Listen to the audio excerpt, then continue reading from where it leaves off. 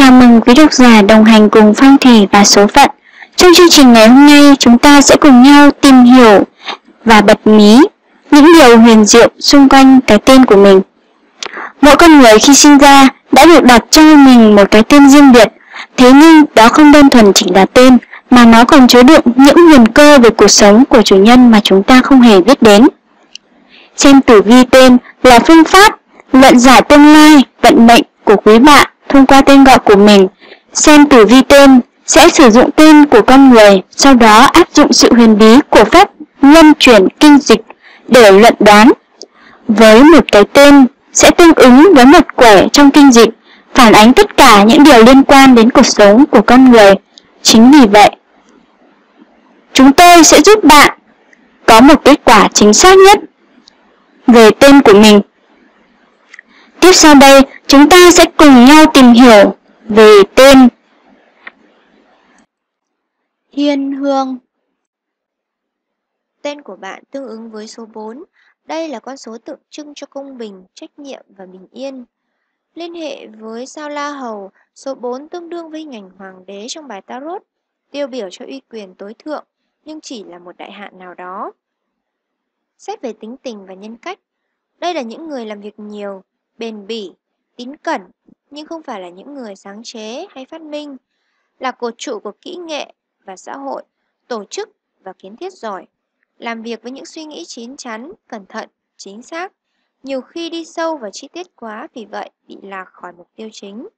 Lương tâm, chức nghiệp nếu được dùng đúng chỗ sẽ đem đến kết quả tốt, nếu dùng sai sẽ bị phí thì giờ và mất năng suất làm việc.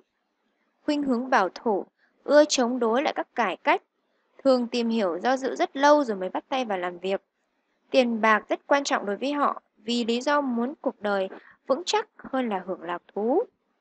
Đi phải làm việc nhiều nên dễ nghi ngờ với những thành công dễ dàng và phải đổi chủ trương, thích thú trước việc làm.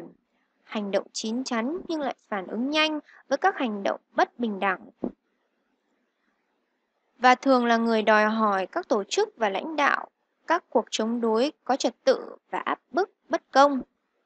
Thường trầm lặng, có điều độ, mực thước và ít biểu lộ, ít có tính hài hước, không mấy tháo vác, bản tính trung thành, tin cậy, là những người bạn tốt và lâu dài.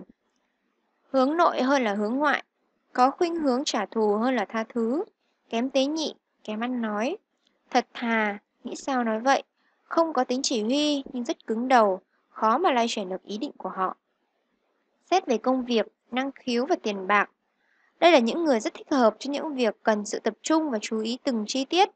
Các ngành nghề thích ứng, ví dụ như kỹ sư, kiến trúc sư, thầu khoán, kế toán, thu ngân, hóa học, dược sĩ, toán học, luật gia hay thẩm phán xuất sắc. Có thể thành công cho các công việc khảo cứu khoa học. Phần lớn thiếu óc sáng tạo và tưởng tượng nên không thích hợp với những ngành nghề thương mại, quảng cáo hay tuyên truyền.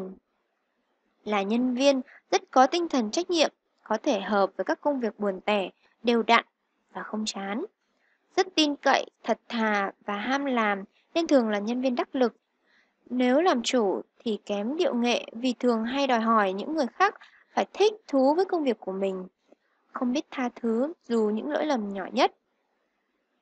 Cẩn thận về mặt tiền bạc, biết để dành phòng khi mưa nắng trở trời. Mua bán rất chặt chẽ, không hoang phí, thường mua đồ cũ hơn là đồ mới. Ít người thích cờ bạc hay đầu tư liều lĩnh, họ chỉ dám làm những việc có kết quả chắc chắn và kiếm được đồng nào thì giữ đồng đó. Về mặt tình duyên, không tương tư một cách dễ dàng, rất cẩn thận, thực tế, tiến bước trên con đường tình cảm một cách chậm chạp và chắc chắn. Rất hiếm người có tình yêu xét đánh, phần đông thường tìm hiểu rất lâu, từ một năm trở lên rồi mới ra quyết định. Sau một năm mới tiến tới hôn nhân. Là một người có lý tưởng cho những ai kiếm một người tin cậy, làm việc nhiều và cương quyết. Thường dè dặt, ít bị chi phối bởi tình cảm, nên có hạnh phúc với những người có cùng chung mục tiêu. Cần tình yêu nếu không rất dễ bị cô quạnh, khổ sở nhưng lại ít dám tỏ tình. Rất thích hợp với các số 4, số 7 và số 9 là những người đồng quan điểm, quan niệm và rất nghiêm nghị. Kết hôn với số 2 và số 6 thường đem lại hạnh phúc nếu số 2 bớt lãng mạn và số 6 bất lý tưởng. Có thể kết hợp với số 1 và số 8 nếu các số này bớt tính hậm hĩnh và óc chỉ huy. Không thích hợp với số 3 và số 5 vì đó là dầu và lửa. Mời quý độc giả tham khảo các chương trình tiếp theo của phong thủy và số phận.